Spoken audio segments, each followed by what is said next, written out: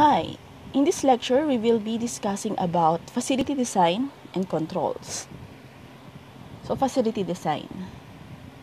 So understanding the risk prior to constructing or renovating a laboratory is vital to ensure the success of an effective biorisk management program once work has commenced. But of course, this is a common sense because uh, before you actually do something, you need to properly plan what you're supposed to do. You need to have a robust design to avoid uh, mistakes bef- uh, during and after construction.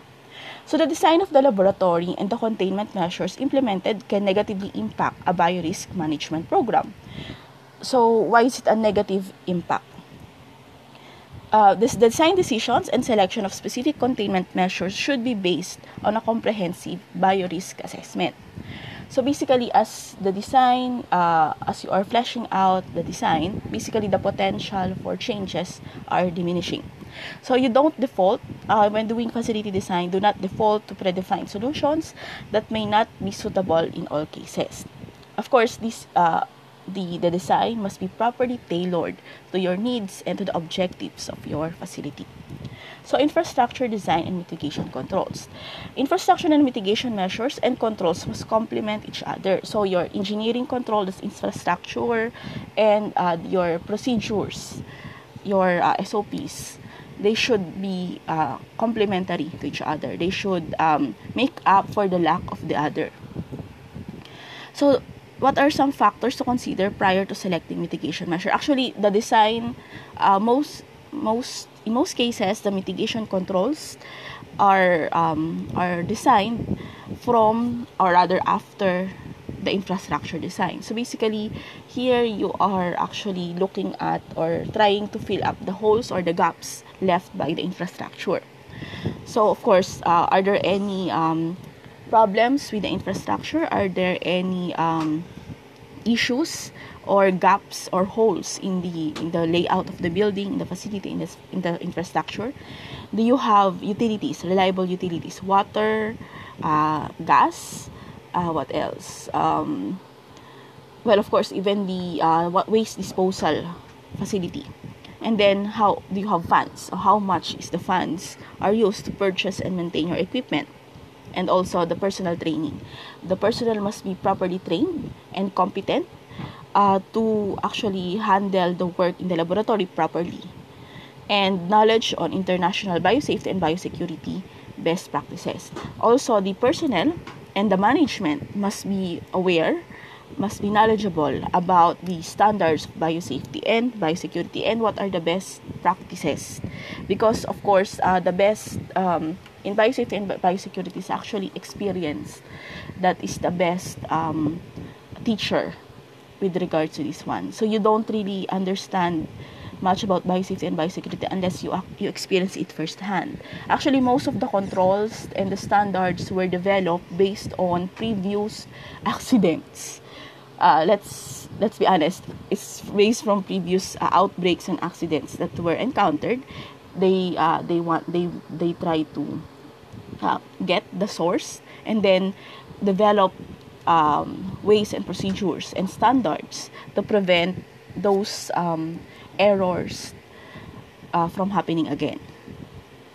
Even, for example, if that laboratory, let's say, um, if that laboratory was not following the standard procedure, uh, what should be, you should develop, or uh, the, the, the standards committee should develop a way for that laboratory to actually practice biosafety or the standards of biosafety by, say, uh, doing frequent audits or um, giving um, punishments to, uh, to, to certain infringement of biosafety standards. So risk-based design decisions. In doing designs or uh, designing facilities, mostly uh, you do it uh, based on the risk the, the lab is supposed to handle.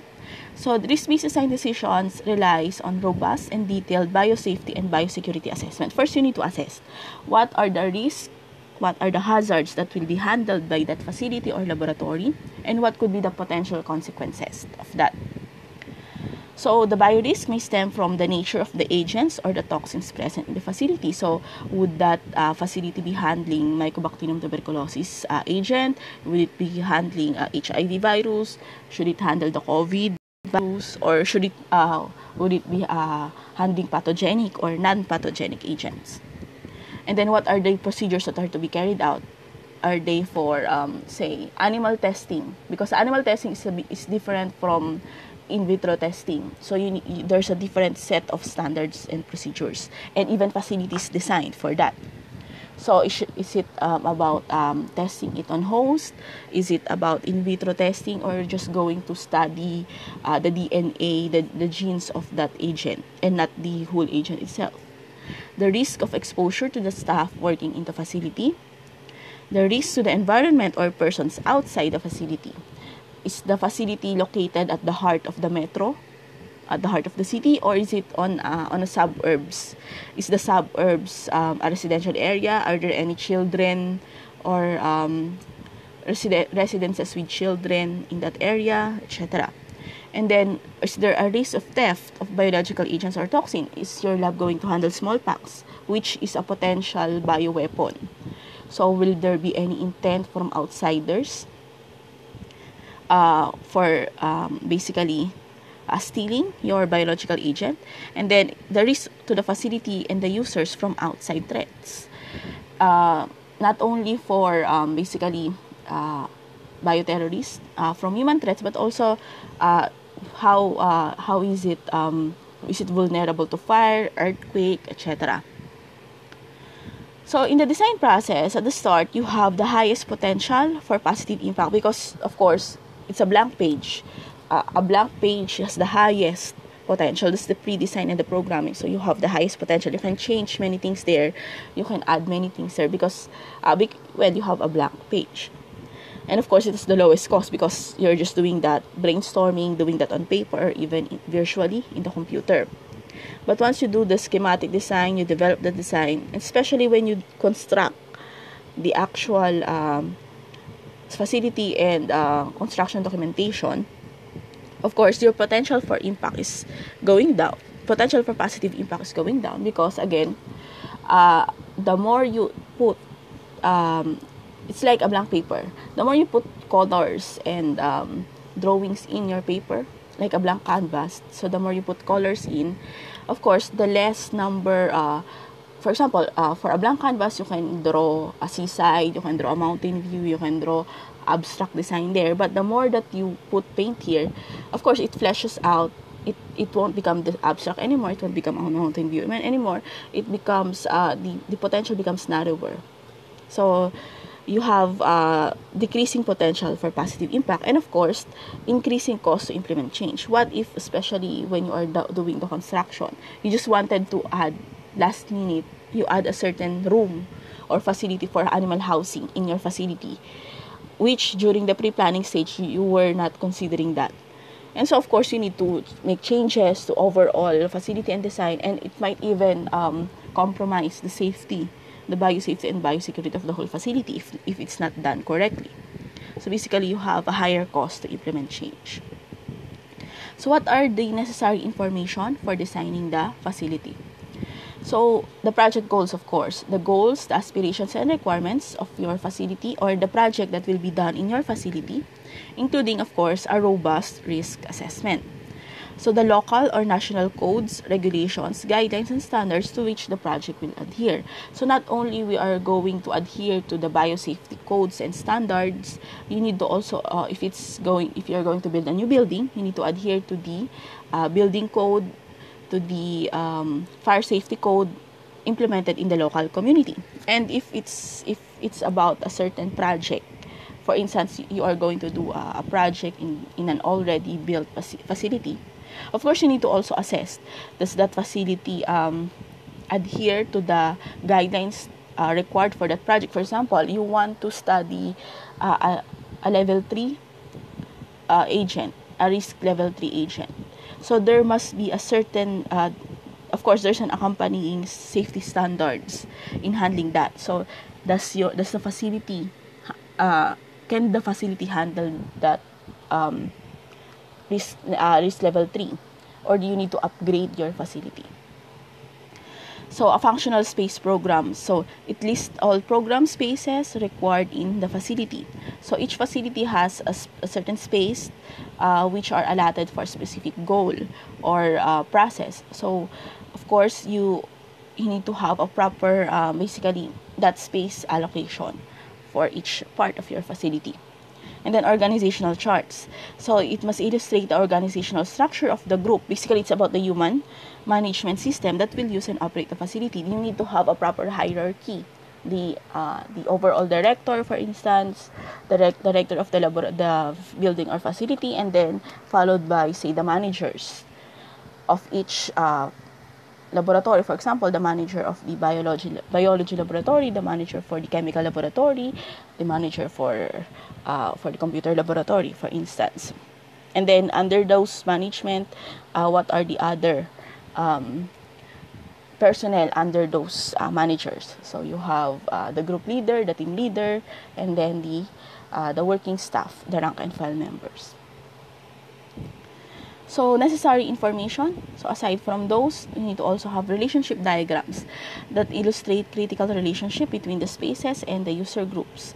So, um, not only the uh, the hierarchy of the personnel, but also uh, this group is responsible for this particular space. For example, the biology lab- laboratory, and another group is responsible for this uh, space is the animal laboratory and then another group for the chemical lab- laboratory. And then we also have the chemical inventory or uh, the overall inventory of the lab if you have if we do not have a separate inventory for biological materials and chemicals so you have an overall inventory. So who is under which? Are they uh, mutually exclusive and equal in ranking? So you need to have a proper uh, relationship diagram for that. So, a listing of institutional space standards.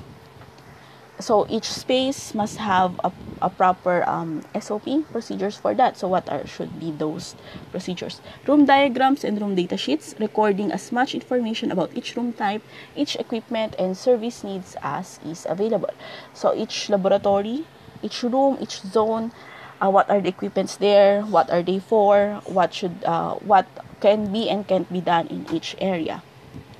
So, so these are some best practices for a laboratory design. So, you need to have public-private separation. So, basically, you need to allocate areas where public has free access and areas where the public has controlled or limited access and areas that are completely restricted. For example, if you have gone to the YGC uh, building, so the, the free access area is, of course, the, the outside area and the um, the entrance uh, lobby where the guard is stationed. So you have here uh, sofas and chairs there. So you can actually enter there. Um, but from there, the guard, of course, will ask you who are you supposed to meet. Do you have um, proper access to these uh, to certain facilities inside? So limited access, for example, the hallway and the lobby leading to each uh, laboratories. So um, basically, uh, some visitors uh, for the facility can access that. And then some areas that are completely restricted, the actual biosafety laboratory, the actual containment zone, they can be completely restricted. They are completely private, only for personnel. So those are the um, uh, separation of the public and private. So you can use barriers, uh, security locks to uh, for those separation. And then zone strategies so aside from uh, areas you designate as public or private you need to separate or divide the spaces into certain zones such as animal housing the loading zone the testing zone conference and meeting areas for conference and meeting offices even pantry. And how these zones are related to each other which zones are connected. Basically you need to look at um, the operational use also of these zones. For example, these are some zoning concept diagrams. So the first one we have here, this is uh, the lobby, followed by the general offices, and then this is the loading and support. So basically, uh, if you have the lobby and conference areas, these are usually uh, public or semi-public spaces. And then this, the loading and support areas are usually private spaces. So this, uh, we have a clear separation between them. And then, uh, let's say, for example, uh, containment laboratories. So, the containment laboratories is inside the general offices. So, it depends on um, basically how how you design or what the of course the risk in this case uh, the risk here is not so high because the containment laboratories are within the general offices which is um, usually of course office where people are, do not don ppe in general offices and then another one this one is for actually uh, personally prefer this one better. So you have a containment laboratory separate.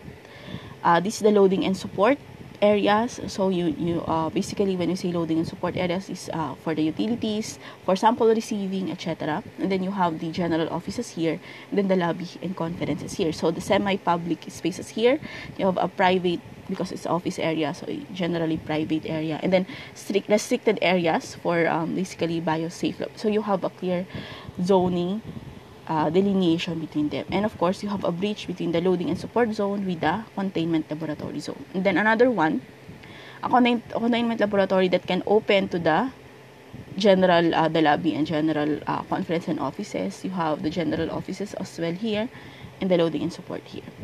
So uh, basically, these are some examples of uh, zoning concepts or how you actually arrange the zones in your facility. So aside from that, flow analysis. Flow analysis address the movement of personnel and material in the facility.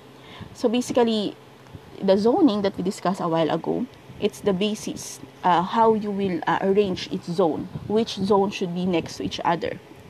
So because uh, in the flow analysis, you are looking at, uh, for example, uh, the flow of movement of people and materials in the laboratory. So, analyzing the flow, you should be aware of, uh, for example, in uh, receiving the sample, from receiving the sample to actually uh, creating the final report for the study done on that sample. So there's a uh, there's a flow there. So the sample is received, it will be run on the testing laboratory, or it will be stored in a facility for after some time. Uh, and then after running the um, the the sample, the test on the sample, uh, it should be uh, some should it be stored or should it be um, disposed, and then you run the reporting. So you report, uh, you do the report, and then submit the report. So of course, there's a certain flow here. So it runs from a zone where you load receiving area to the uh, laboratory area to the storage facility or even the waste management facility, and then to the offices where you write the uh, reports and uh, etc. So uh, basically, you need to properly know how how it flows, how the process flows, how the humans, the personnel involved, move from one zone to another as they actually do the work or the the pro- operating procedures and protocols in the laboratory, so that um, knowing the proper flow of the uh, materials uh, of the uh, basically procedures in the laboratory, it ensures that all the necessary equipment and facilities are in the correct place. For example, in the receiving area, uh, there must be, uh, for example, a refrigerator there for um, samples received uh, that are uh, basically temperature sensitive samples. It must have a proper storage shelving. You should not place a biosafety cabinet, for example, in the storage area, in the receiving area. should uh, where should the autoclave be uh, situated, etc. So here is an example of the flow.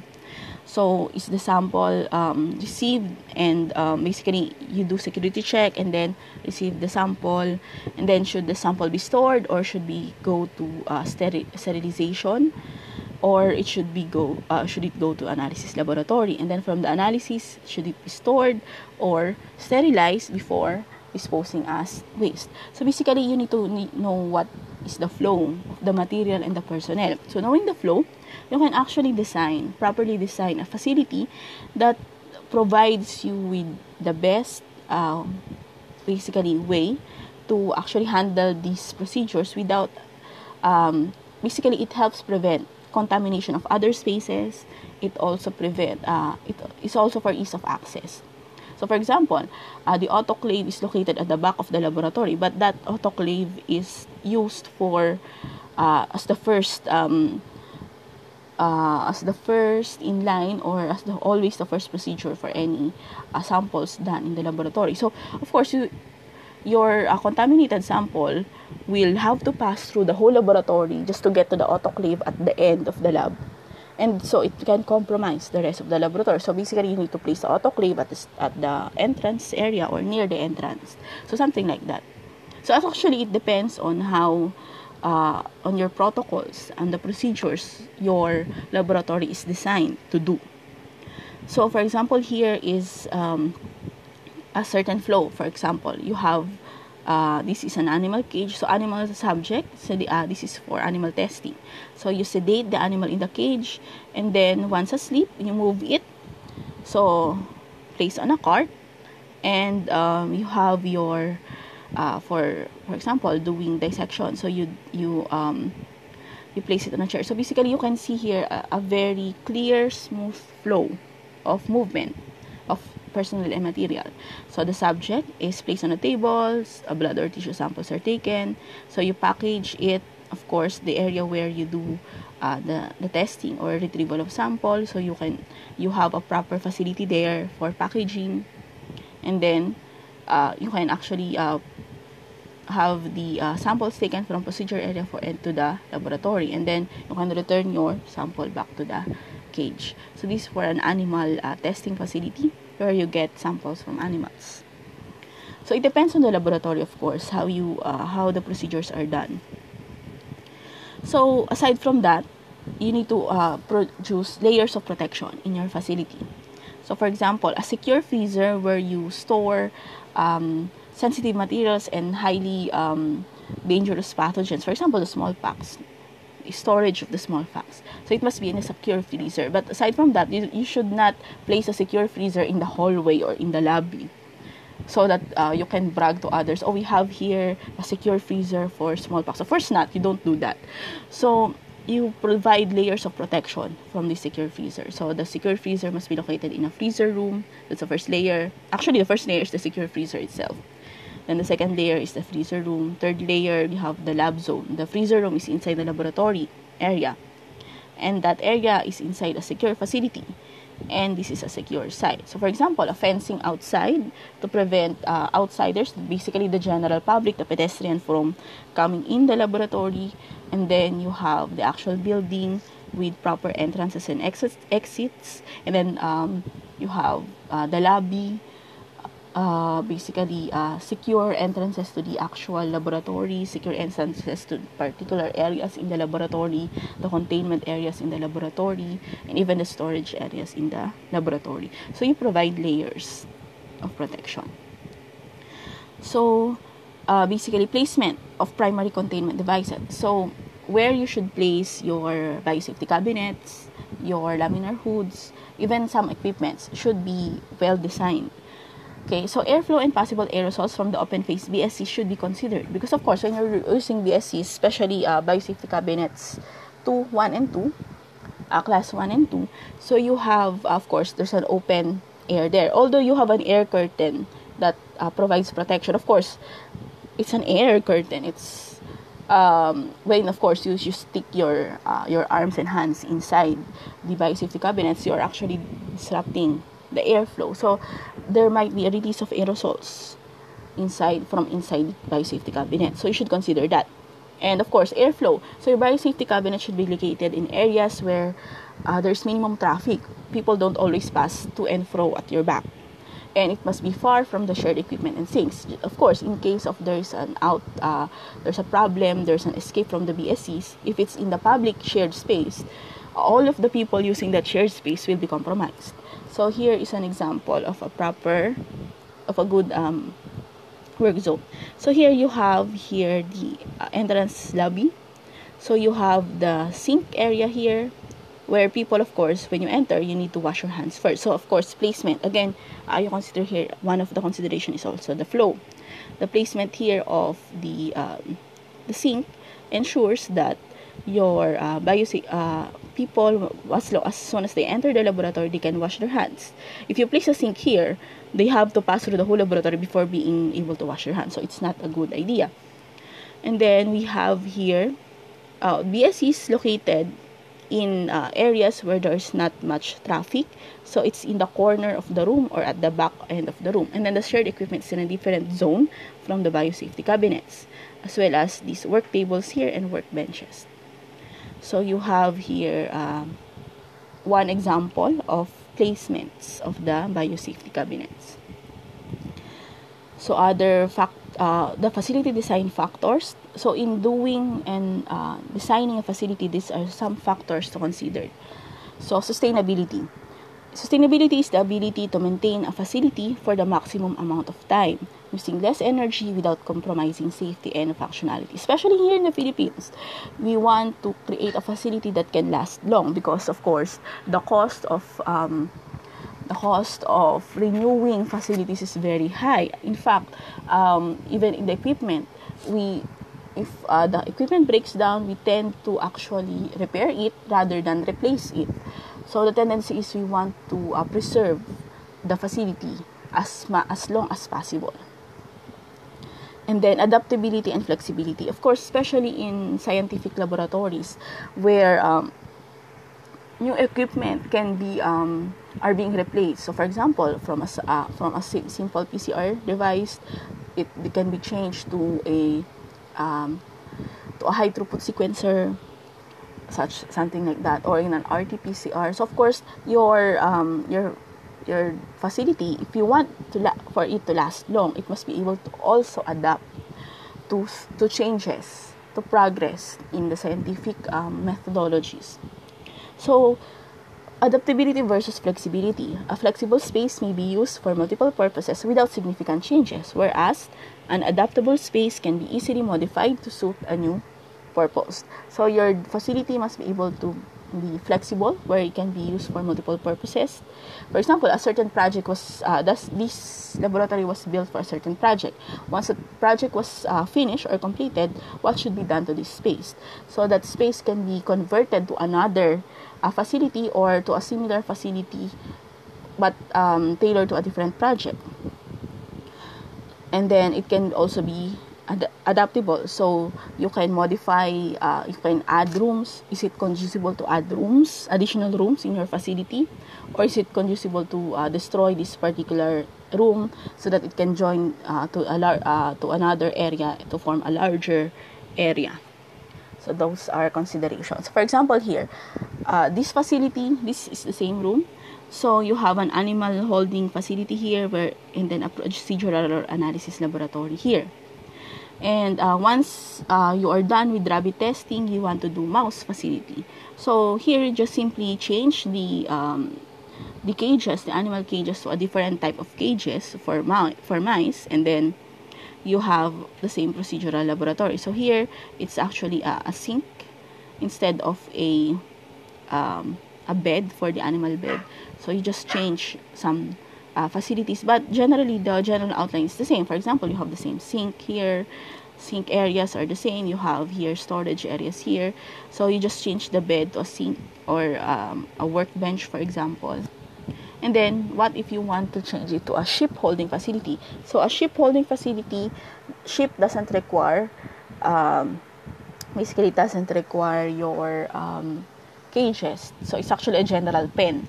So you install a pen area here, and then you uh, install additional rooms for uh, as as needed by the procedural needed. So you have uh, you add additional walls. So this is adaptability. So you adapt this area to a ship holding facility. Basically, you break down walls, you add additional walls and rooms to change your facility. But general uh, outflow is similar. Same sink areas, same uh, tables areas, etc. For flexibility, just change some things, but the general layout is very similar. So basically, this is a space that is flexible and adaptable. Okay, so other features that can be done. So incorporate incorporation of features such as containment barriers, HEPA filters, and of course, uh, directional air flow. So in you should you could also include features that help promote compliance with established standard operating procedures. So, you, for example, uh, locating a sink near an exit where users need to wash their hands, providing ample spaces for storage to reduce lab clutter. Actually, uh, based on experience, that has been a, a problem uh, as you as experiments pile up of course. Uh, samples from previous experiments tend to pile up as well. So they should be proper storage devices. Or what should be done on the samples should it be um, should it be disposed of or should be should it be stored? So you want to uh, you want to uh, minimize the clutter. Providing enough space to promote the proper function of biosafety cabinets will facilitate and encourage users to also follow the proper procedures. So these are other design and feature suggestions.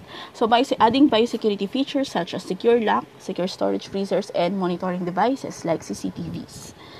So uh, the, the the the hallway is monitored by a CCTV. Even the inside of the lab can be monitored by a CCTV. This for biosecurity purposes as well as for documentation. So in case of a breach uh, or an accident, of course, uh, when you assess, when you look for the root cause of each accident, it's easier with a CCTV record.